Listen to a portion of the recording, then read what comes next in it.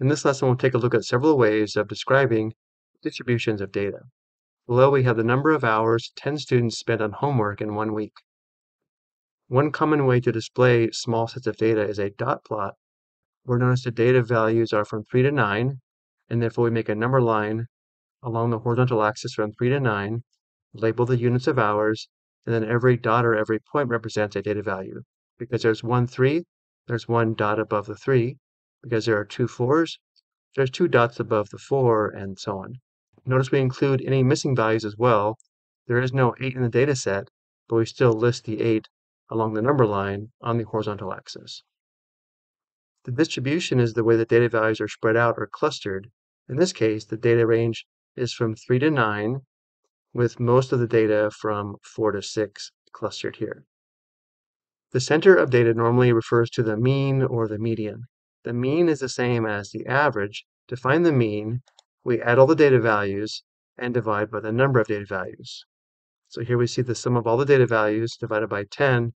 The mean or average is 5.4. The median is the data value in the middle when the data is ordered from least to greatest. In this case, though, because there are 10 data values, there are two middle values.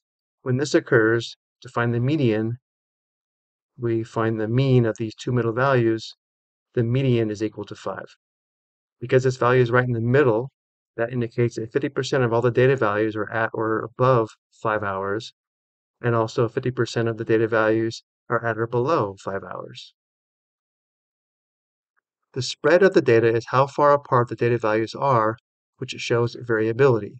The range is used to describe the spread. The range is equal to the maximum value minus the minimum value, which in our case is 9 minus 3, which equals 6 hours. This becomes even more valuable when comparing multiple sets of data. Finally, the shape of the data refers to the pattern of the graph as symmetric, skewed, or uniform. If we did not have a data value at 9, this would be perfectly symmetric. If all data values were the same, it would be uniform. In our case, we have one value here on the far right, or trailing off to the right.